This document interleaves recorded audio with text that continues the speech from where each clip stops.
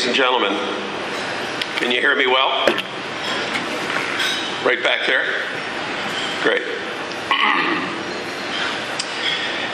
Um, thank you very much for inviting me here today. I do appreciate the uh, the invitation, and I also appreciate the fact that many of you took time today to to come here and uh, listen to this aspiring politician. I say aspiring. My uh, political career thus far has been anything but boring. That's for sure. And it certainly has had its uh, share of ups and downs. The race for the leadership was full of twists and some turns. And of course, uh, you know, there was some criticism along the way, and they had a bit of a field day, but I don't mind that because it reminds me actually of just how serious Newfoundlanders and Labradorians take their politics, and good on them. When I got into this race, I can genuinely say that I did so with, you know, a good measure of humility, enthusiasm, and the very best of intentions. And most of all, with a sincere desire to work for the people of this province, keeping us on track to what I would call unprecedented prosperity. But I also got into this race, admittedly, as a rookie politician with an awful lot to learn. And let me tell you, I don't think there is any steeper learning curve than getting into public life. To say you learn a lot of lessons the hard way is a bit of an understatement. You learn what seems to be an innocent enough an answer, answer to a question can result in a total social media frenzy. You learn that your family is open season and nothing you can say or do can prepare them for that, uh, living in that fishbowl. They're getting used to that, by the way.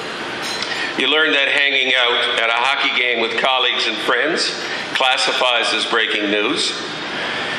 You learn that everything from your haircut to what clothes you pick out to wear every morning suddenly matters. But you also learn that getting out there, meeting people, and listening to their concerns, to their issues, and their ideas is certainly one of the most rewarding experiences you can ever have. I have always been passionate about this province and the people who live and work here, and hitting the road over the past few months has done nothing but re energize and inspire me more than ever before about this province. Its culture, its people, and its very being evokes a sense of pride, and I can tell you I'm absolutely full of optimism about our future. Most of you have probably heard a little bit of my own personal story. Well, you've heard lots over the last few months. My, but I, I, just indulge me for a minute as I tell you a little story. My grandfather, Arthur James, was the son, this is my nephew, by the way, this young man here, was the son of a Glace Bay coal miner. He had a grade four education because his father thought that was more than enough. He swept the floor of a barber shop. He became a barber, a plumber's apprentice, and then a plumber. He worked 12 hours a day for $2 a day. And returning from work one evening, his truck broke down. And when he returned back in the morning, he found that his truck had been stripped and his tools had been stolen. Discouraged, but not beaten, he took his six kids, his wife Maggie, along with a cow and 38 hens. And he traveled to Corner Brook, Newfoundland, where he set up a small over the counter convenience store. That was in 1934. Ladies and gentlemen, whenever I get a chance, I always like to first thank the thief of those tools. Because if it had not been for him, we would not be in the business we are in today, and we would not be living as a family in this great province. Yes, it was a destiny created by a thief, and our family set off to Newfoundland in 1934, a land soon to become just after just after that, that Great Depression, or in the middle of that Great Depression, the land soon to become an economic basket case with the sum total of a cow and 38 hens. And he did what he had to survive, to provide for his family in the midst of that depression. And he recognized that this island was a place with a future. Thank heavens he came. It was a leap of faith and a show of great resiliency. But we're no longer that economic basket case of the past. In fact, we have become economic leaders in this country.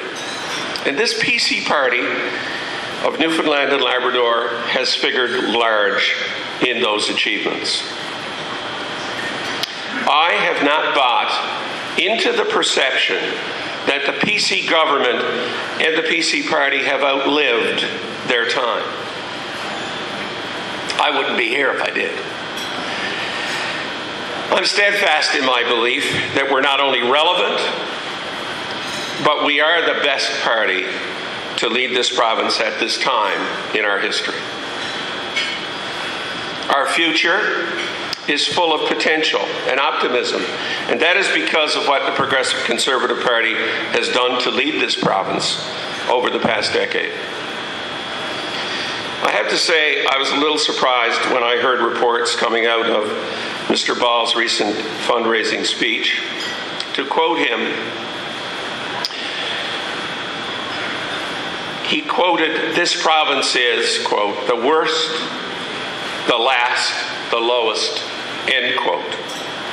Those are his exact words.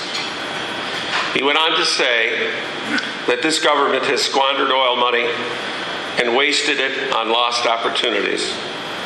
He says we have nothing to show for that money that has been spent over the past 10 years. Well, first of all, if you listen to national economic experts, this province is leading the pack. That's right, not the worst, not the last, and not the lowest. The fact is that the Newfoundland and Labrador economy is on fire and is among the leaders in this country. The fact is, we are spending more on health care and education than at any other time in our history. And we have literally put millions of dollars in tax cuts back into people's pockets.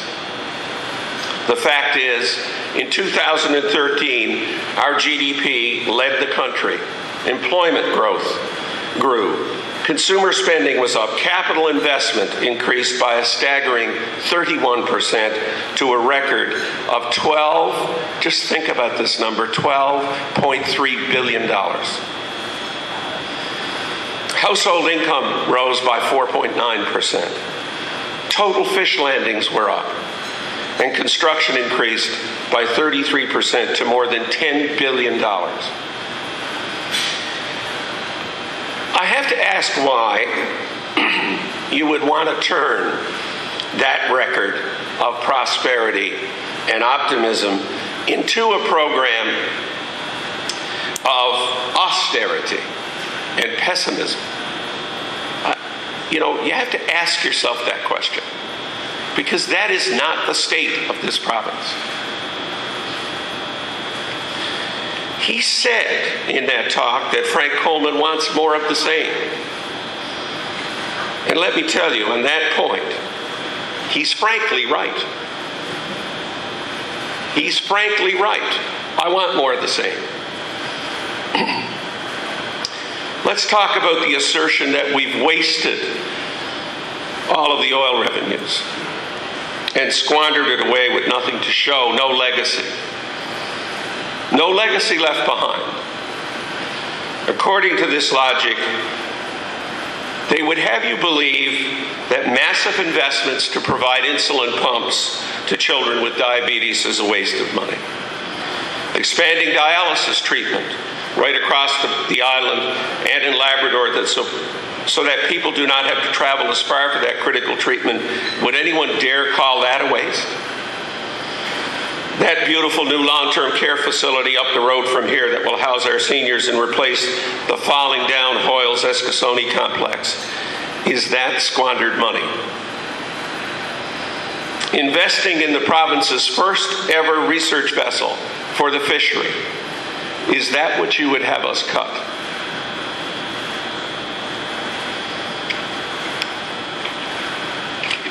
New schools, the best post secondary student aid package in this country.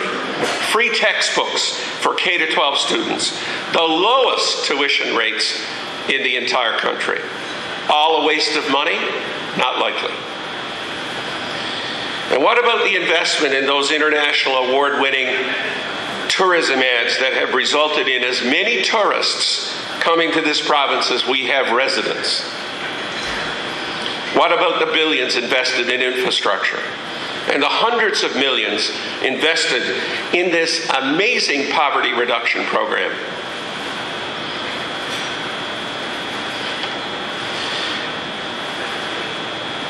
If you actually think about it, everybody in this room, every individual sitting in this room today, every business represented here today are paying less taxes than they were 10 years ago. Is that a squandering of our newfound wealth. This government has put money back into this economy in meaningful and significant ways. So much so that I sometimes think we forget how far we've really come as a province. And maybe the young people don't remember what it was like back here in 1977 when some of the people that are my vintage in the room started. There were very few jobs. But I remember, and this is clearly, we are in the middle of that prosperity and we do not want to go back. On January the 5th, 2004, former Premier Williams addressed the province on live TV I don't know if many of you remember it.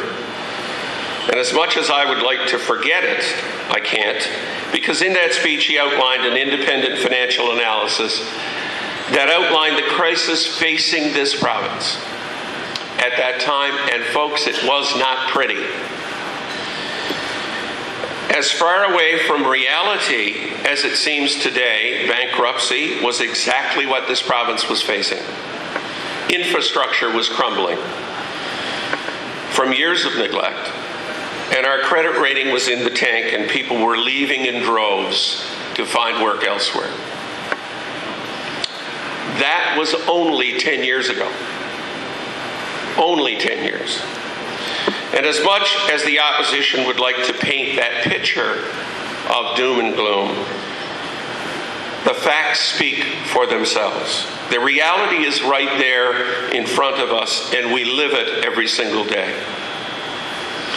With few exceptions, we are individually and collectively, unquestionably, undoubtedly, and demonstrably in a better position.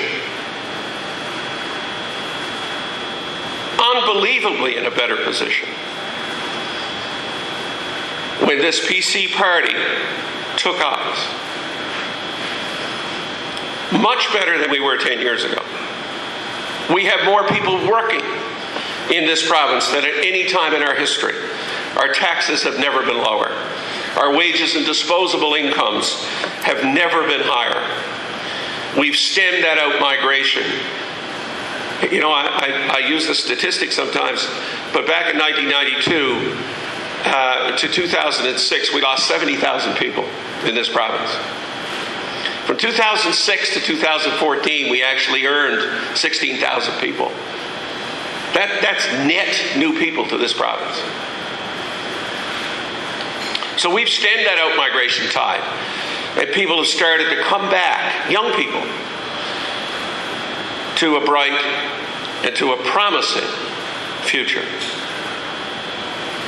With projects like Hebron, Voisey's Bay, Alderon, Muskrat Falls, there will be an abundance of jobs for everyone and for years to come. The rest of Canada no longer see us as a joke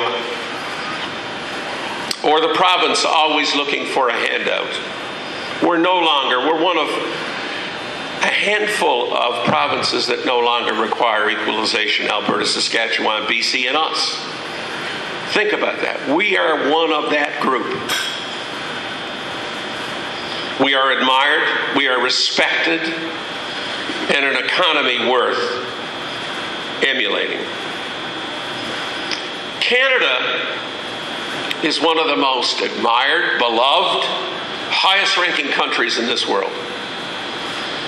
And this province, Newfoundland and Labrador, leads the way. It leads the way.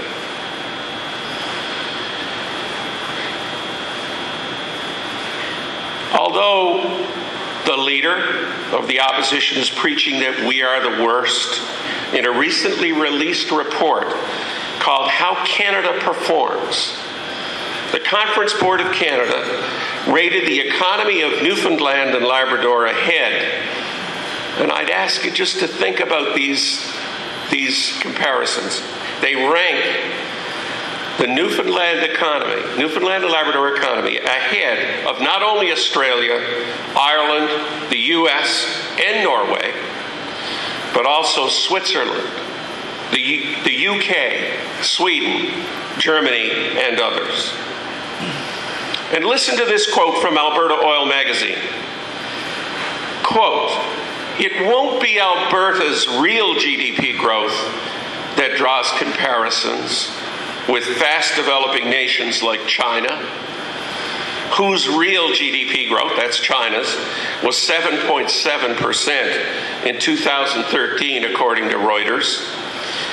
Newfoundland and Labrador, this is still the quote, posted the highest economic growth in the country and even surpassed China's growth rate last year at 7.9%.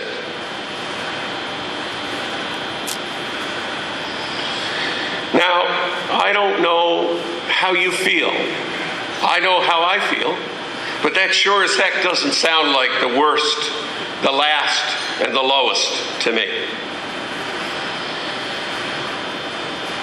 I don't know, maybe somebody was not paying attention.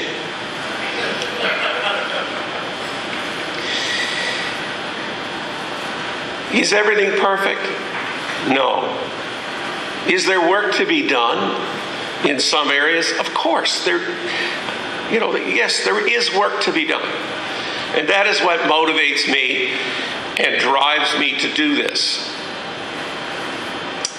But make no mistake, we are better positioned as a province today than we have been at any other time in our history. I see some faces in the audience that I worked with years ago, and I know they have to believe that what I'm saying is the truth because the facts speak to it. These are the facts. And the economy that we came back to in the 70s, at least I did, is not the economy that we have today.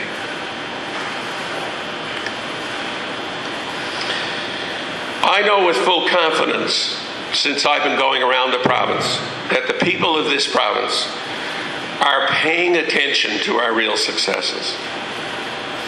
And I know that they see that truth. Make no mistake, they see the truth in every community I've been in. I'm under no illusions that we do not have work to do in order to keep our fiscal house in order. And I'm under no illusions that only by strong fiscal management can we grow the economy and also pay for critical social programs like healthcare and education. PET scanners, radiation units, will pay doctors, nurses. Those things don't pay for themselves. Quality education, tax breaks, safe public infrastructure do not come for free. We have an obligation to be a strong fiscal steward so that we can fulfill our duty to take care of those vulnerable individuals in our society who sometimes need a helping hand. Debt has to be tackled. This pension plan problem has got to get fixed.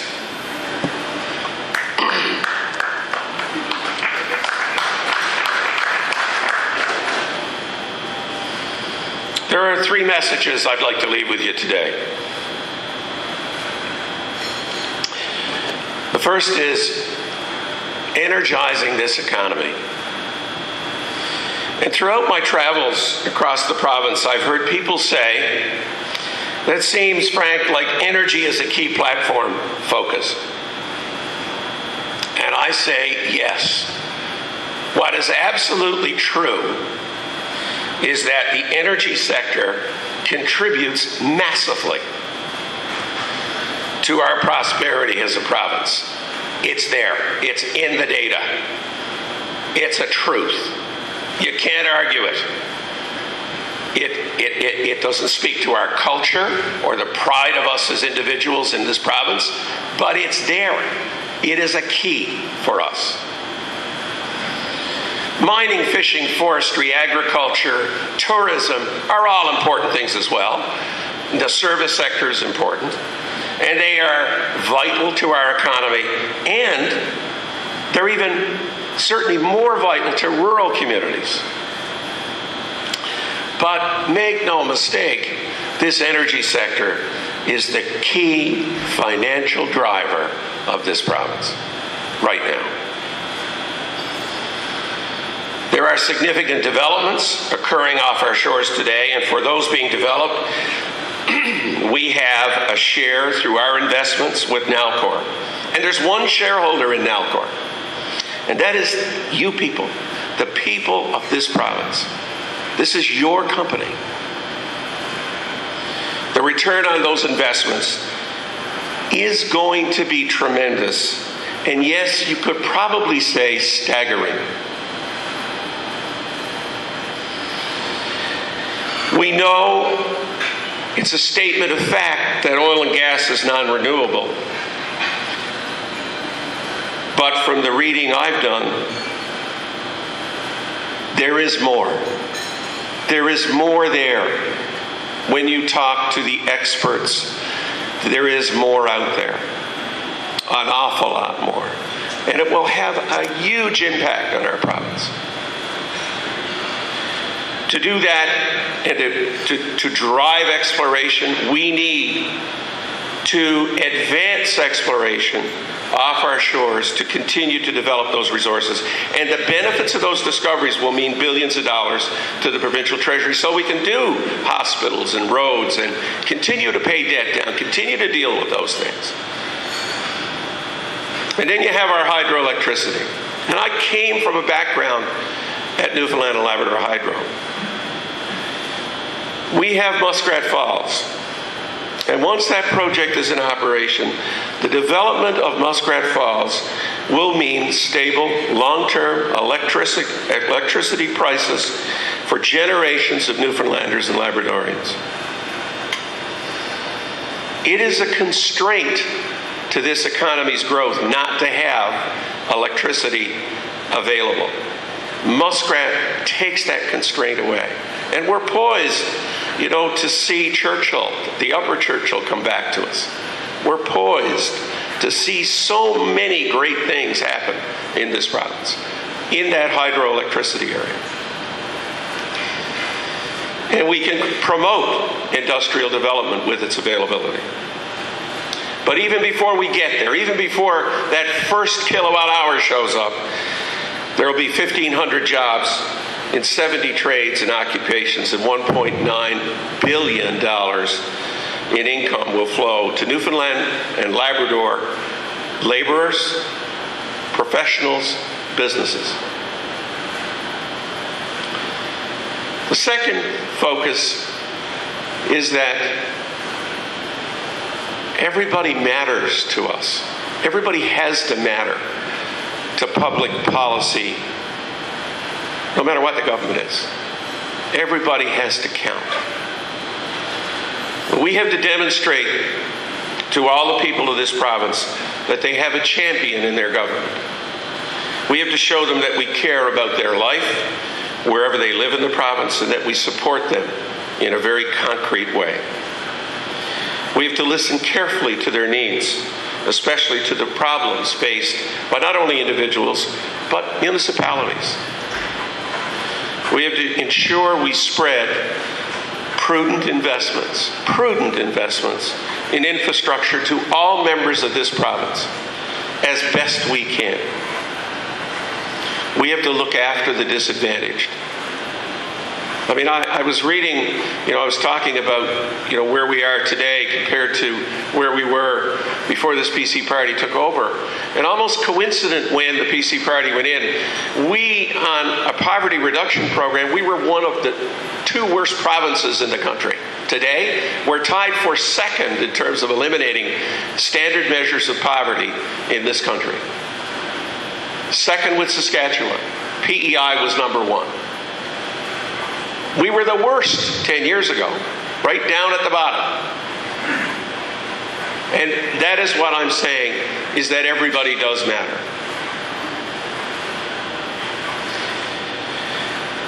The next thing that I, would like to say is that we have to expand the scope of our focus. Yes, energy is important now, but we do have to broaden the base of attack. You know, if you're, if you're shaping this economy for your kids and your grandchildren, you got to shape that attack. You've got to expand the focus. And there's a bunch of immediate things we need to do because if we don't, we're not going to get there. We've got a real deficit in skilled trades required to develop all of our resources. We need to promote the development of agriculture, forestry, fishing, mining resources. And if you take that last one, that mining resource, that could have a vast impact on the provincial treasury. And we need to help the mining industry speed up the development of its efforts. But we are talking huge opportunities for this province if we can accelerate the mining development in the province. We need to resolve management of resource issues, like came up with the shrimp quotas recently with the federal government. We need to ensure that R&D is an enabler for manufacturing and all other industries. We need this is not optional we need to absolutely, fundamentally get into meaningful, serious discussions and promptly fix that unfunded pension liability.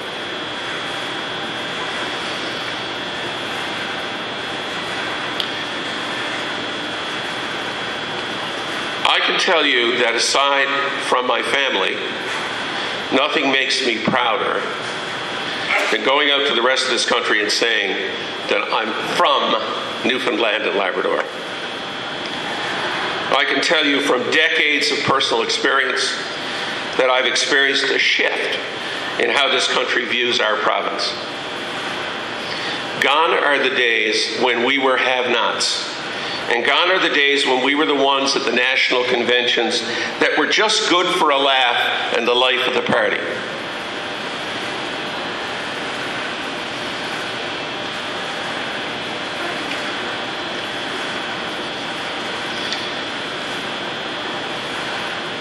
Gone are the days when we were looking to others to direct us to a path of greater prosperity, scraping and scrounging for every job and every single dollar we could find. And while it is my hope that those memories will never be the ones that my grandchildren will share, I don't ever want to forget those days because they remind me of how far we've come. The memories of those leaner years keep me motivated to move forward and keep the momentum going and to stay on this right path. Ladies and gentlemen, I'm encouraged by what I see. And I want to tell you a very quick story just to end my talk today. Last week, when I was visiting a smaller town on the West Coast, somebody had placed a biography of me in front of the audience like they did today. And uh, it read something like this. And in the following year, he met Yvonne, who's my wife, and was married and had seven children. So you see, if I can have seven children and get married in one year, I just want to say to you today that after July the 5th, this should be a very productive year.